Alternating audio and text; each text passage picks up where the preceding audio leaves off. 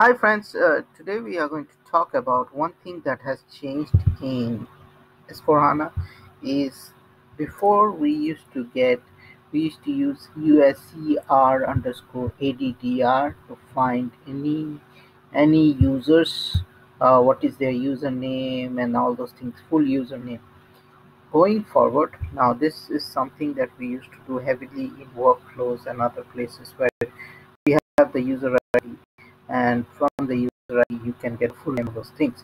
So here was the table join condition and these are the different few full name fields we used to have.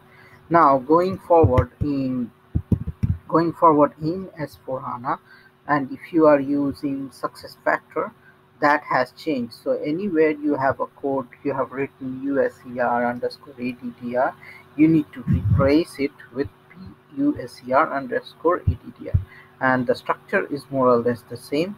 So you don't need to code anything. What you need to change is just instead of putting user underscore addr use puser underscore addr so this is very useful.